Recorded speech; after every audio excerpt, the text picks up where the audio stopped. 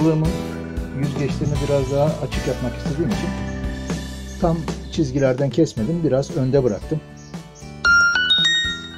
Bu şekilde oymamıza devam edip ilerleyen aşamalarda çekimimizi sonlandıracağız.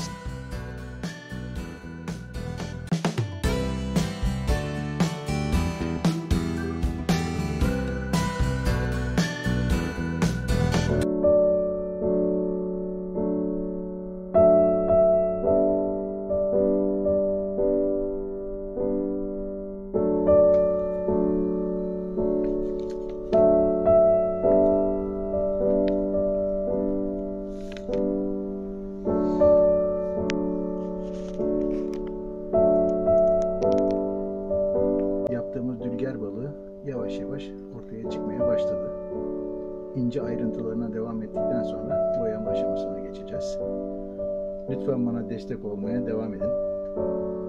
Abone olmayı, beğenmeyi ve paylaşmayı unutmazsanız bana büyük bir yardımda bulunmuş olursunuz.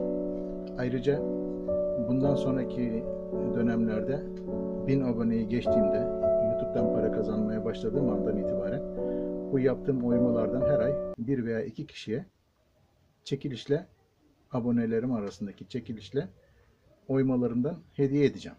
Adreslerine yollayacağım. Bu da sizin için artı bir puan olur inşallah. Ücretsiz bir şekilde sanat eseri elde etmenin bir yolu olur. Bu da benden size bir hizmet olsun.